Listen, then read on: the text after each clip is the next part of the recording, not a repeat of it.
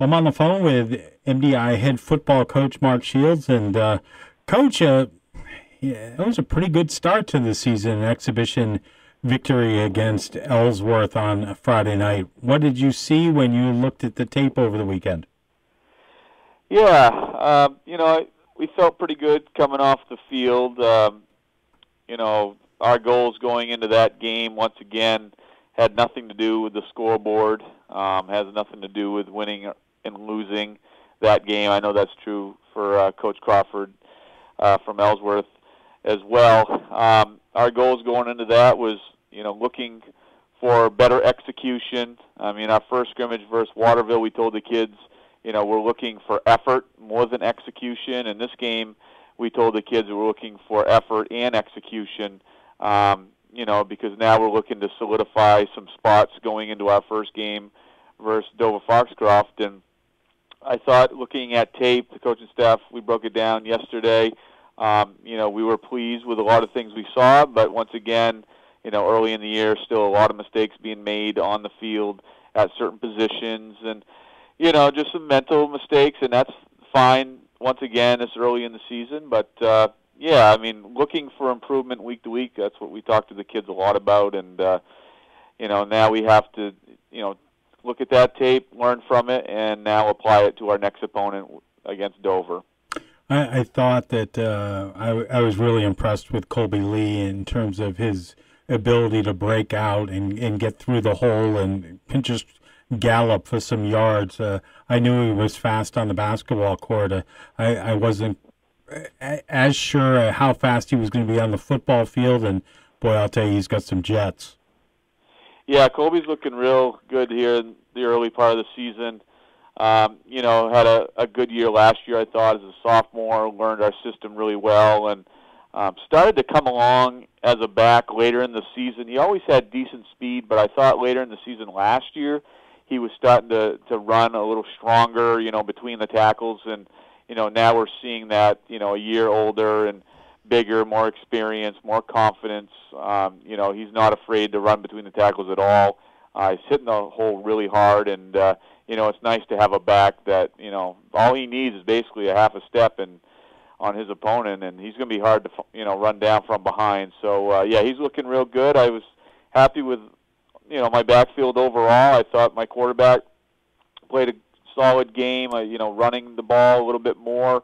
Uh, you know, I thought his pitch game looked really good when we were running our option stuff, which we did not look good at last year, and you know a lot of that's on me because we didn't practice enough um, during practices. We've been working on that hard this year, and you know throwing the ball, he still needs to get up on his toes and, and throw a hard ball. I think he started to do that later on in the game and started hitting some of his receivers. And my fullback, uh, Croy Albee, looked strong running the ball, and uh, then I'm splitting time with Chris Farnsworth and Ed, Ezra Johnson at my other halfback, and uh, and those guys did a nice job. Those guys are both athletic, fast kids, and you know, I, it's nice to have some some depth back there. And uh, you know, right now those guys are, are looking pretty good.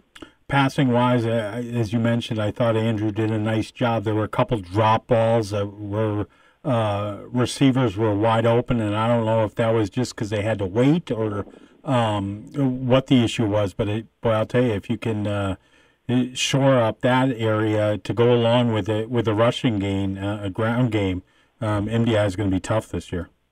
Yeah, you know, you're right, Chris, and that that was another focus of ours. I mean, for me, you know, running the offense, two big goals was to throw the ball better.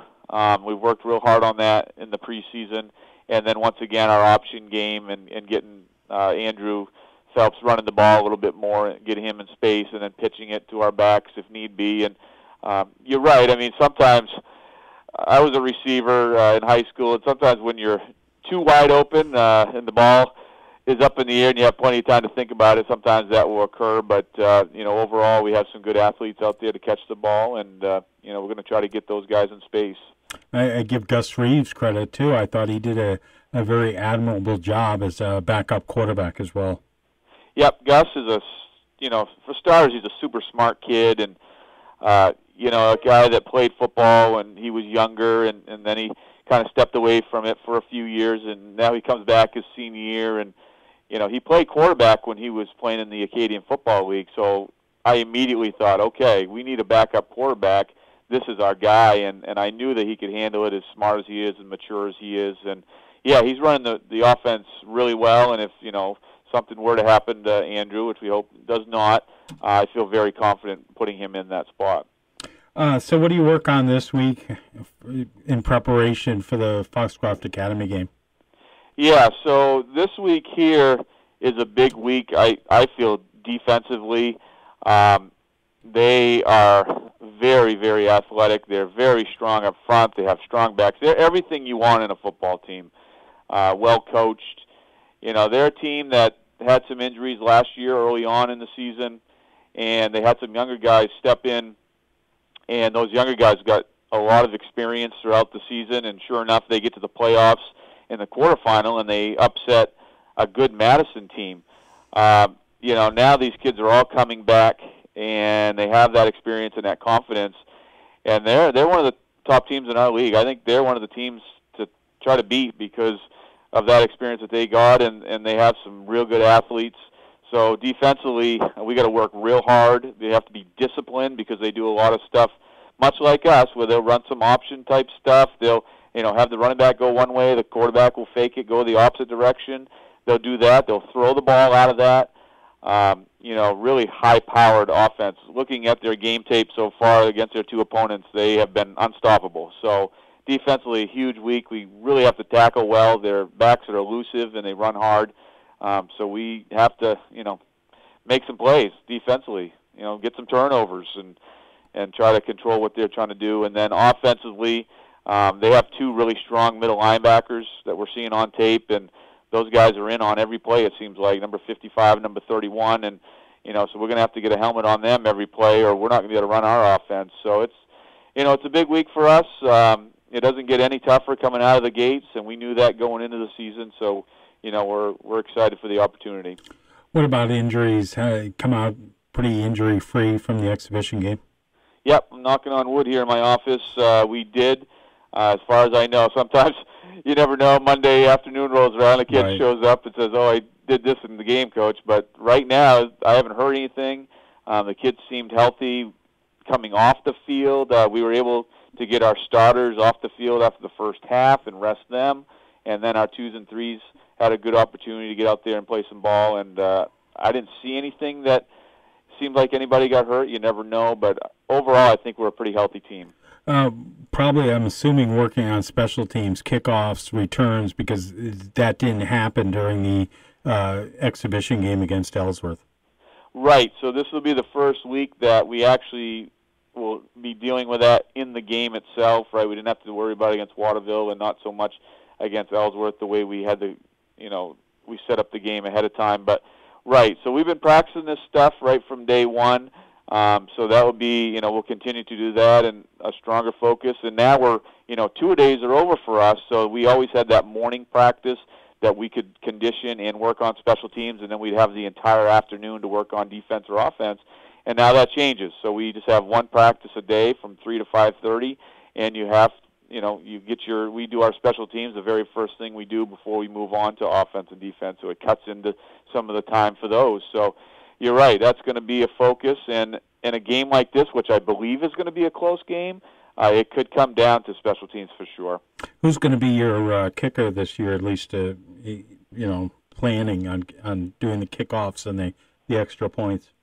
Yep. Right now it's Drew Rich. Uh, Drew kicked for us last year and he really came on strong at the end of the year. Had a lot of confidence. Was kicking the ball real well. Uh, we didn't have him kicking off because we had Isaiah Keene, who was, had a strong leg and could get down the field and tackle people. But right now, um, we've moved Drew to that position as well. So I believe he's kicking off as well. We'll have to make that decision throughout the week. But uh, he's definitely our point after guy. And uh, in terms of punting.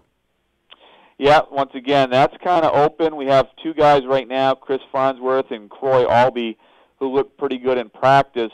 Um, the thing about Chris is he's one of our better long snappers, so he he may be long snapping to Croy because if you got a good you know long snapper, you got to have him down there doing it because that's probably more important than the actual kick itself. So right. and plus he can get downfield well because he's fast and athletic.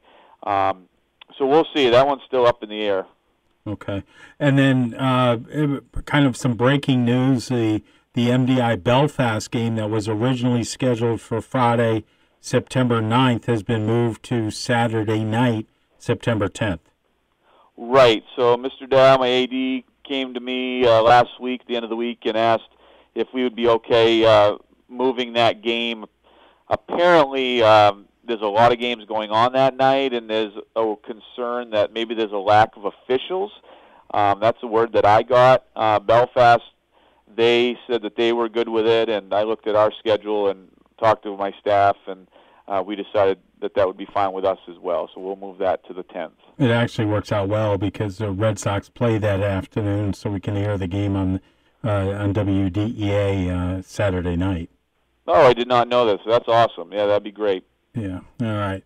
So, Coach, uh, have a good week. We'll talk to you on Thursday as we get ready for our, our opening weekend of uh, of football. It's hard to believe you're in school today, and uh, it, it's just uh, summer's over. Yeah, it's done. It's done. We are yeah the first day of school, and uh, I guess uh, no more days off for Coach Shields in the summertime. Got to go back to work. All right. Well, about time. All right. have a good day. All right, you too, Chris. Thanks. All right, you too, Chris. Thanks.